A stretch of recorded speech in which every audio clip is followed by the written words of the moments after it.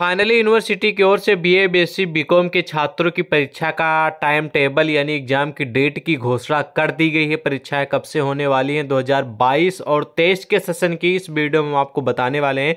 तो वीडियो को लास्ट तक ज़रूर देखें। ये आपका अपना ही चैनल है जो कि आपको समय रहते सारी अपडेट देता रहता है। तो चलिए जानते हैं कौन सी यूनिवर्सिटी ने परीक्षा का टाइम टेबल की घोषणा की है। ओके और हाँ अपडेट जो हम आपको बताएँगे, उससे पहले आपको जानकारी दे दें, आपको किसी भी यूनिवर्सिटी का टाइम टेबल एग्ज़ाम किसकी परीक्षा से जुड़ी कोई भी अपडेट चाहिए तो कमेंट में ज़रूर बताइएगा, हम आप तक अपडेट प्रोवाइड करेंगे, ठीक है?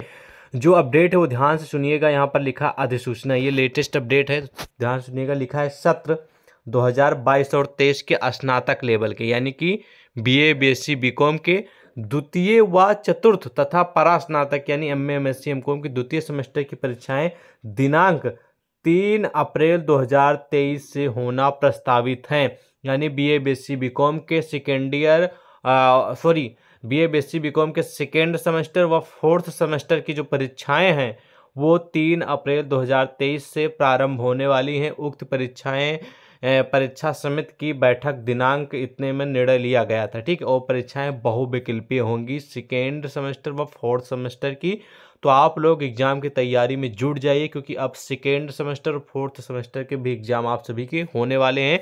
और जो ये अनाउंसमेंट हुई है, उस यूनिवर्सिटी का नाम है राजा महेंद्र प्रताप सिंह राज्य विश्वविद्यालय अड़ी, जो अलीगढ़ है।